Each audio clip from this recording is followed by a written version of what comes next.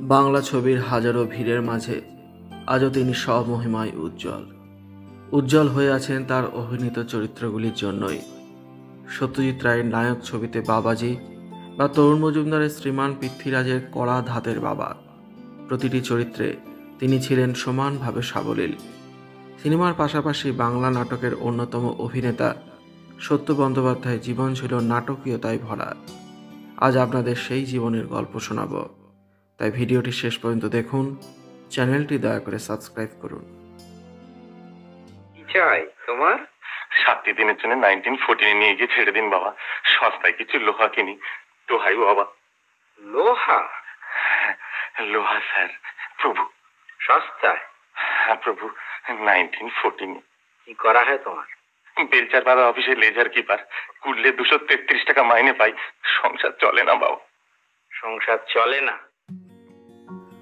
গাঁয়ের বাড়ি হুগলি জেলায় হলেও সত্যর জন্ম কিন্তু কলকাতায় উনিশশো পঁচিশ সালে। রানী ভবানী স্কুলে পড়ার সময় থেকেই স্কুল টিমের বাঁধা গোলকিপার। খেপ খেলেও বেড়ান। স্কুল শেষে সিটি কলেজ। মা চারুশীলা আগেই মারা গিয়েছিলেন। আইকম পাস দিতে না দিতেই মারা গেলেন বাবা বনমালী বন্দ্যোপাধ্যায়। ভাগ্য ভালো, টিটাগড় পেপার মিলে কেরারি চাকরি জুটল। শ্রাদ্ধ শান্তি সেরে ন্যাড়া মাথায় অফিস গেলেন। বত্রিশ টাকা মাস মাইনে আর বিশ টাকা যায় এক আত্মীয়ের ধার শোধ করতেই। অফিসের হয়েই জুটে গেল প্রথম ডিভিশনে খেলার সুযোগ। ছোট থেকেই শখ ছিল আবৃত্তির। সেইভাবে একদিন পাড়ার অ্যামেচার নাটকে অভিনয়ের সুযোগ পেলেন। সেই নাটক দেখতে এসেছিলেন আর এক কিংবদন্তি বীরেন্দ্র কৃষ্ণ ভদ্র। সত্য বন্দ্যোপাধ্যায়ের অভিনয় দেখে মুগ্ধ হয়ে রেডিওতে নাটক করার পরামর্শ দিয়েছিলেন তিনি। সেই শুরু। তারপর কয়েক দশক জুড়ে রেডিওতে নাটকে অভিনয় করে গিয়েছেন সত্য বন্দ্যোপাধ্যায়। প্রথম মঞ্চে ওঠার সুযোগ পেলেন ভারতীয় গণনাট্য সংঘের শহীদের ডাক নাটকের মাধ্যমে। সলিল চৌধুরীর গান আর সত্য বন্দ্যোপাধ্যায়ের অভিনয় নাটকটিকে জনপ্রিয় করে তোলে।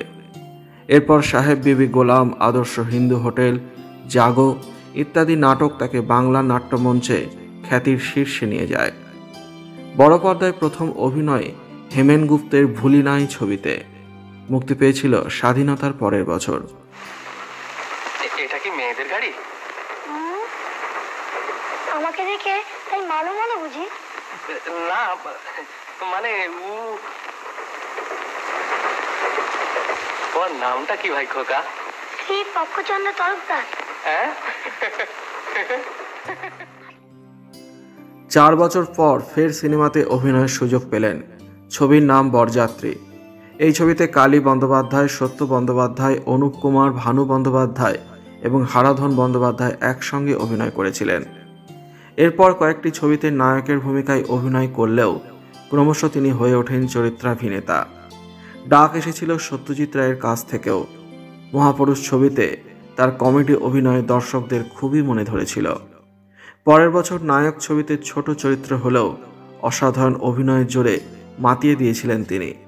এরপর তরুণ মজুমদারের কাছ থেকেও ডাক এলো ছবি বালিকা বধূ। তারপর শ্রীমান পৃথ্বীরাজ সংসার সীমান্তে দাদার কীর্তি খেলার পুতুল ভালোবাসা ভালোবাসা পরশমণি। ওই শুরু করো।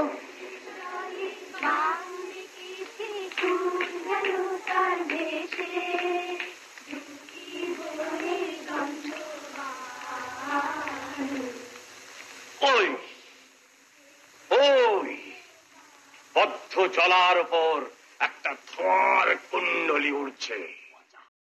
অভিনেতা তরুণ কুমার ছিলেন তার অভিন্ন হৃদয় বন্ধু। দুজনে মিলে নহবত নামের একটি নাটক মঞ্চস্থ করেন। বাংলা নাট্য জগতে এই নাটক ইতিহাস সৃষ্টি করেছিল। উত্তম কুমারের মৃত্যুর পর দুই বন্ধু মিলে উত্তম মঞ্চ করার পরিকল্পনা করেন। মনোহরপুকুর রোডে লিজে জমি নিয়ে শুরু হলো কাজ। প্রচুর ধার দেনা করে উত্তম মঞ্চের কাজ শেষ হলো বছর সাত পরে। কিন্তু ততদিনে নাটকের পরন্ত বেলা। একটার পর একটা গ্রুপ থিয়েটার উঠে যাচ্ছে। নতুন করে নহবত মঞ্চস্থ করেও লাভ হলো না। ব্যাংকে দেনা বাড়ল, আর্থিক কষ্ট চরমে পৌঁছালো। উত্তম মঞ্চ কিনে নিতে আগ্রহ দেখাতে শুরু করল প্রমোটাররা। এই অবস্থায় প্রবল মনোকষ্ট নিয়ে উনিশশো সাতানব্বই সালের সাতাশে জুলাই তিনি প্রয়াত হন। এর কয়েক বছর পর কলকাতা পুরসভা উত্তম মঞ্চকে রাহুমুক্ত করেছিল। কিন্তু সেটা আর সত্য বন্দ্যোপাধ্যায় দেখে যাওয়া হয়নি। ভিডিওটি আপনাদের কেমন লাগল? কমেন্টের মাধ্যমে লিখে জানান। ভালো লাগলে লাইক করবেন, শেয়ার করবেন, আর অবশ্যই চ্যানেলটি সাবস্ক্রাইব করবেন। ধন্যবাদ।